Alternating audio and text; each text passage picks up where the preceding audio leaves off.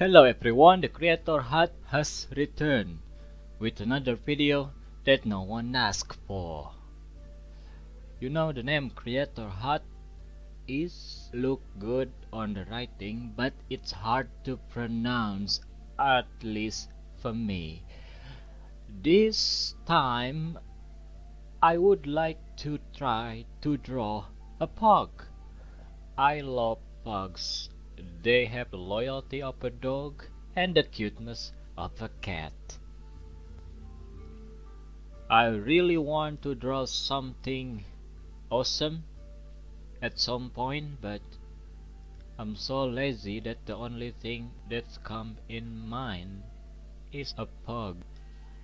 I little bit confused how the pug ear look like. Initially, I want to draw a sitting pug, but then it's look weird. So I decided to change my mind. The only thing that I know about pug is they are small, they are cute, and they have a curly tail. Sadly, I didn't have any pet because I could barely feed myself. Oh dear, the life of a late bloomer. I always having trouble drawing a fingers or paw like I don't know how to do it right. Yes, I'm still I'm still suck at drawing anything. There you go, the curly tail. So cute.